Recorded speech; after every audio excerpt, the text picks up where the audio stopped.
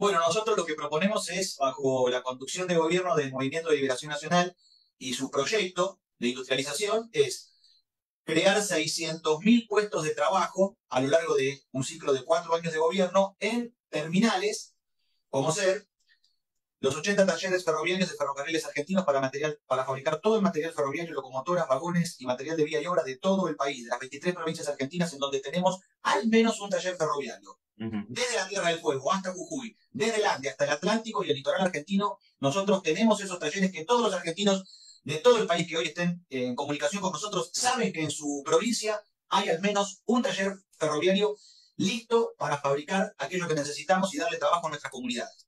Una marina mercante fabricada en astilleros nacionales, que junto con los trabajos ferroviarios que estarían en el orden de los 500.000 puestos de trabajo, más la marina mercante, los 150.000, más la producción aeronáutica y la producción de material carretero, de carga, transporte y pasajeros, nosotros tendríamos que en cuatro años crear 600.000 puestos de trabajo en estas terminales, Comisión Nacional de Energía Atómica, Astilleros y Fábricas Navales del Estado, la Dirección General de Fabricaciones Militares, ARSAT, INVAP,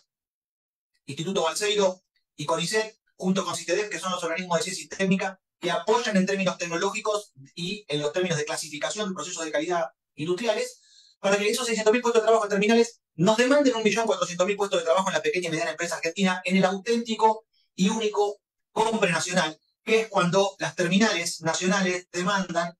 a la pequeña y mediana empresa el abastecimiento y el desarrollo como proveedores de esa cadena de valor nacional. Esto nos daría 2 millones de puestos de trabajo industriales, los cuales, por el solo hecho de gastar el salario industrial en la Argentina, generarían otros 3 millones de puestos de trabajo de los cuales nosotros no tendríamos que ocuparnos desde la conducción de gobierno, porque el pueblo argentino lo hace por sí mismo. Ahí está la cooperativa, los emprendedores, lo que se llama economía popular o social, que en realidad la economía es una sola, pero para que aquellos que proveen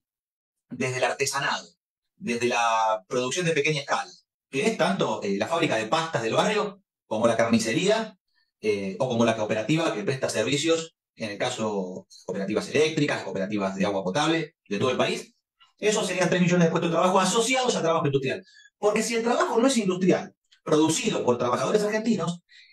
y los productos industriales son importados,